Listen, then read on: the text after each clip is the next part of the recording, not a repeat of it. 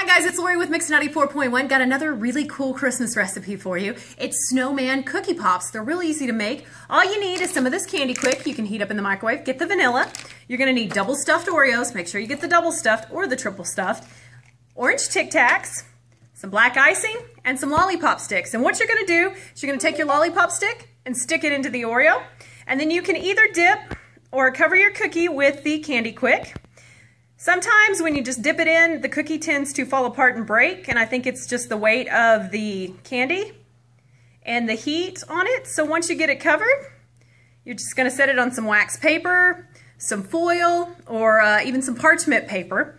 And then uh, once that's done, well, you're going to take your kick, uh, Tic Tac, pardon me, and you're just going to stick it right there in the middle, just like that.